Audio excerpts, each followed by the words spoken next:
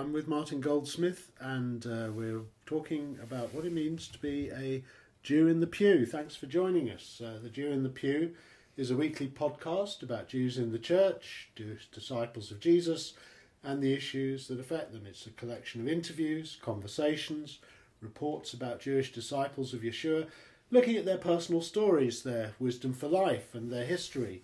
It looks at church and Jewish history, contemporary issues, all from the perspective of a Jewish disciple of Jesus, and it offers prayer, resources, information, and encouragement. This is our first issue, but uh, the podcast will include in coming days book reviews, recipes, music, examples of Jewish and Christian thought, a bit of humour, and we want to keep a light and warm touch but deal with critical and important issues.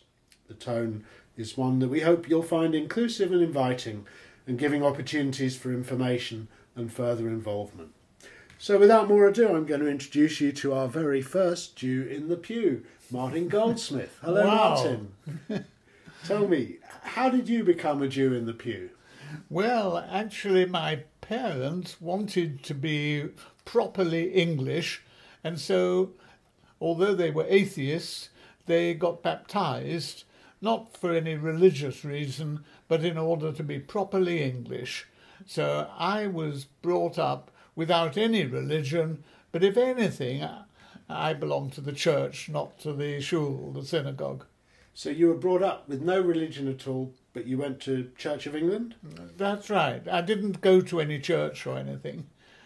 And then, how did you become a real Jew in the pew?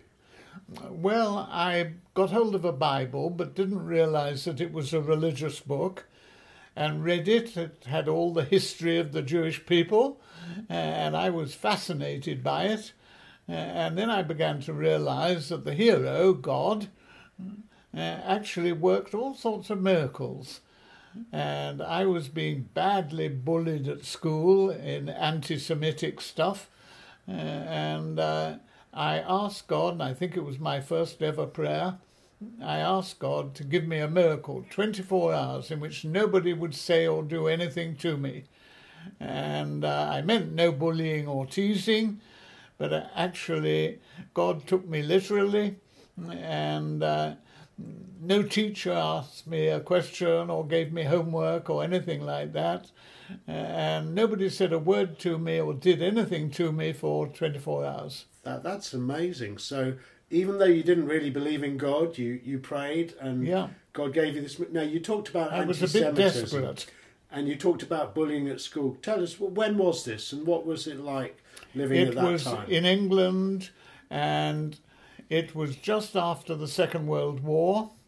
Uh, amazingly, at the time when all the news was on the liberation of the the camps in Germany and Poland, and uh, but in my school there was still a lot of anti-Semitism here in England. Right. How old were you then? I was uh, the bullying was between the ages of thirteen and fifteen. Really? And then just that very dramatic experience of no bullying, for no si- silence even for absolute 24 hours. silence, if I didn't exist in a boarding school. So um, that means that really you experienced the power of God without even believing in God. That's right. That's amazing. We're going to pause there and we're going to come back after a few moments. Okay, we're back with Martin Goldsmith, and uh, we've just heard how initially this was an amazing, miraculous event he experienced of a 24 hour period of silence that uh, freed him from any bullying and, in fact, convinced him that God was there and answered prayer. So, what happened next, Martin? How did you really confirm or strengthen your belief in God, and, and how did it focus on Jesus?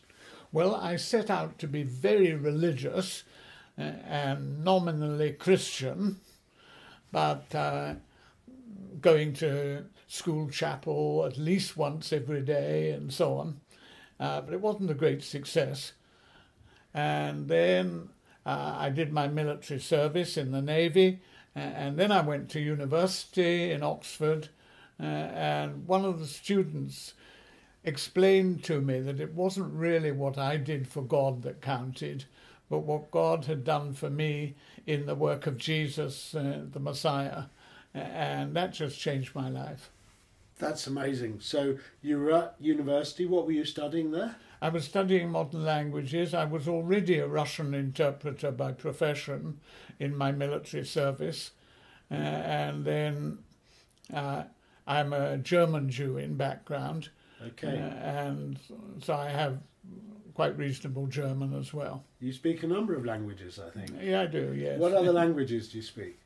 Uh, well, I have Indonesian because I worked in Indonesia for a while, uh, and Malay, uh, and Malay in four different dialects. Wow. Uh, and then in Indonesia, I worked with a, a a smaller ethnic group uh, called the Batak Karo, Okay. and I speak their language. Well, you're a man of many parts. You're much travelled and multilingual. Let's come back to the story. You're at university at Oxford, and what was the process then that really gave you a, a conviction about being a Jew in the pew? Well, uh, I didn't think very much about the Jewish background at first uh, because I, all my Christian experience was quite goy, and all my fellow Christians were goy. so everything was, in my new faith, everything was totally Gentile. Uh, and um, it was only later that I came to realize that that I needed to adapt my Christian faith to a Jewish culture. And that, but that came later, partly through the Indonesian church. Okay, so I expect you're experiencing what many of our listeners will be hearing, which is somehow they've come to believe in Jesus, they've come to be a Jew in the pew, but they haven't quite integrated what it means to be, say, fully Jewish and fully Christian. We're going to come back to that in a few moments, but we'll pause now for our next break. The website, we'll advertise the website, so Yep. uh, that will all be there as well. Good. Okay. So we're back with Martin Goldsmith, and uh, we're talking about his own experience integrating his faith in Jesus and what it means to be Jewish. Uh, for many of our listeners, I expect being a Jew in the pew is not always an easy road to go down. Uh, how do you integrate what it means with your background and your character and your your uh, ancestry, your Jewish cred- credentials, if you like, and your faith in Jesus? How did that work out for you, Martin? Yes, well, when I first became a, a really committed Christian, uh, I always felt that I, I loved Jesus and I loved the Bible and I loved other believers in Jesus, but I always felt my Christian faith uh, was a little bit like buying a jacket in, in the market. Uh, beautifully cut, wonderful material, lovely jacket, but it didn't quite fit on my shoulders. And so I never felt quite comfortable in my Christian faith. Uh, and then when I went as a missionary to Indonesia uh, and worked there, I met the Indonesian church, which was very Indonesian, not European or American. Uh, and I suddenly found that I was really at home there. And that set me looking at the Bible through my Jewish eyes, thinking about Jesus through my Jewish eyes, and uh, just thinking about the whole faith that I had from a Jewish perspective. So it was really your experience of going overseas, going to Indonesia, Yes. entering a completely different culture. Can you give me a couple of examples of how that impacted the way you saw scripture or your faith from more a Jewish perspective? Yes, I think the West is very much based on I and me and individual. Uh, and uh, the Indonesian church was much more group conscious. Uh, and I think that fits a Jewish culture. Um, as Jews, we are not quite accurate by a Western perspective on the use of our verbs and time where we think of things being our experience now, and actually it happened a thousand years ago or will happen in a thousand years' time. Right. Uh, so we use our tenses a bit differently from Europeans, and we think of time differently. So you're referring to the Hebrew Bible where there's a, Yes, a completed action or an incomplete action, and we used to teach that Yes. as past or perfect or imperfect. that's right. And in in Hebrew, the verbs hardly show whether it's past, present, or future. Right. That's fantastic. We're going to pause there for a moment and come back.